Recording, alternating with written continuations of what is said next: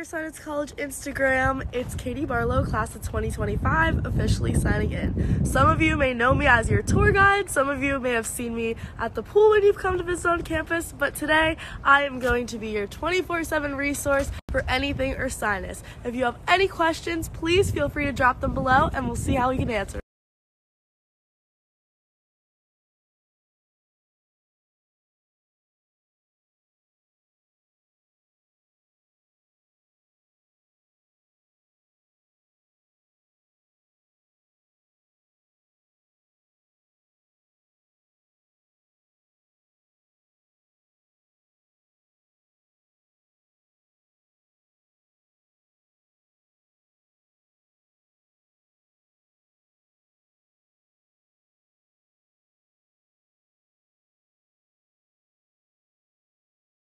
One, This is a single. This is what a CPS. This is her closet over here. And then me. yes, the fridge.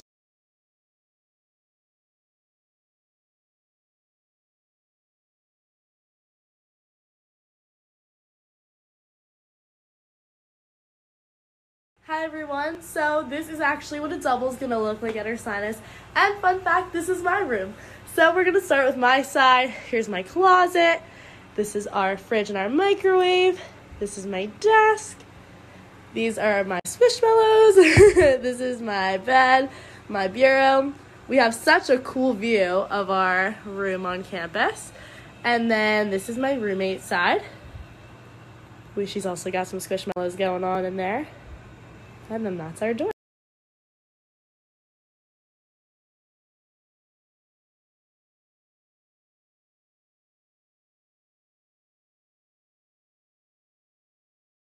Great question. So I'm actually in the Gold Ambassador office right now.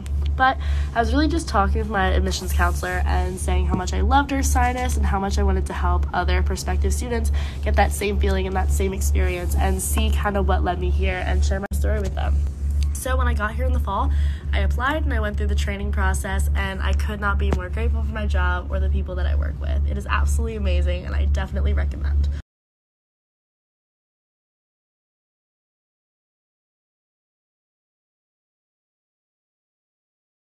So I chose Ursinus for so many reasons, but here are the top two that I want you to know. So especially after spending um, two years in isolation and quarantine, I really realized the value of interaction and personal attention, and that's something that you just get here from the minute that you walk on campus. Um, I like to think our admissions office does a great job, but it's just so fantastic that everybody is just so invested in each other and it really speaks to the power of a small school. Second thing is, it allowed me to be an athlete, a student, a leader involved in service, have a job, and kind of none of those things had to suffer. I could be the best version of myself and I could be the full version of myself here, and the campus culture is just so motivated to be involved in so many things and to do all things really, really well.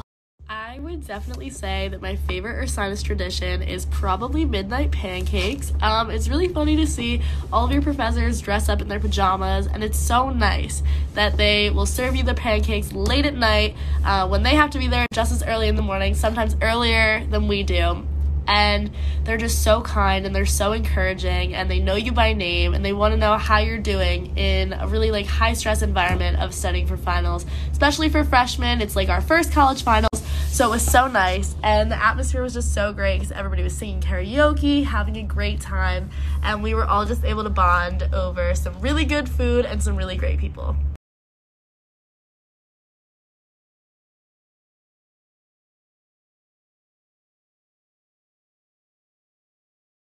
Best advice for making friends is definitely to say hello and smile at everybody you see. Take advantage of the time where freshmen are the only people on campus. A lot of people are going to leave their dorm room doors open, so pop in and say hello. A conversation about, oh, I like your dorm, could lead to be your best friend of the next four years and further. Definitely sit next to people in Wismer, sit next to people at academic convocation, say hi to the people that you're close with in class. If you see somebody that's with your CIE class and then that lives on your floor, say hi to them. Everybody's looking for friends, nobody has a set group yet, and you're all experiencing this together. It really is going to help you get on your way to answering that question of how should we live together.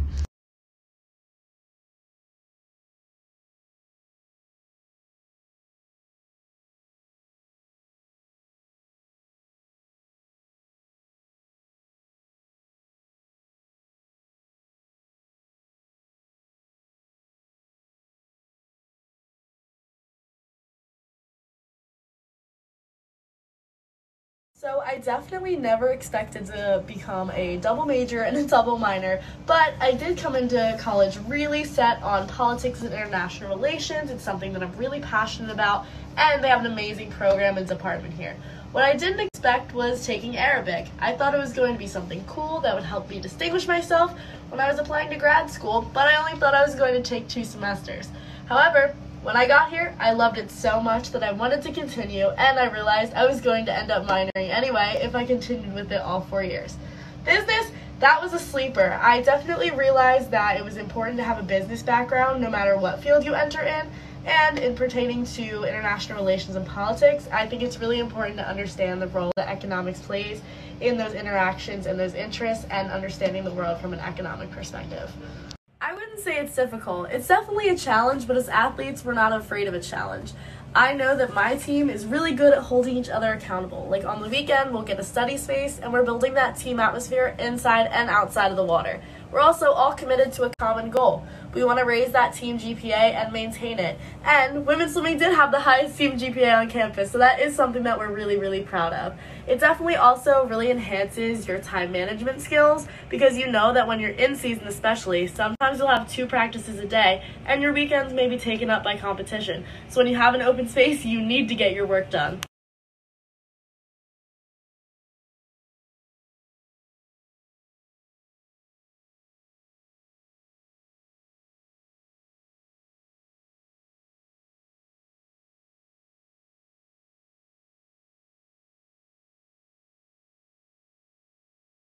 Obviously, high school and college academics aren't the same, but Ursinus does have a lot of resources. Aside from the resources, being a small school really helps because your professors know you and they're going to be invested in your success and making sure that you go about the transition pretty peacefully.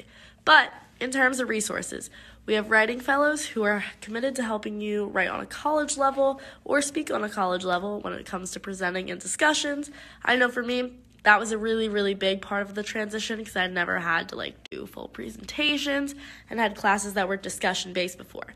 Also, we have the Institute for Student Success, which provides academic coaching and also just some generalized information on study skills, time management, discipline, stuff like that. And we have our amazing academic advising cohorts, which sometimes have upperclassmen partners that'll sit in and give you advice on how to transition into the college experience academically.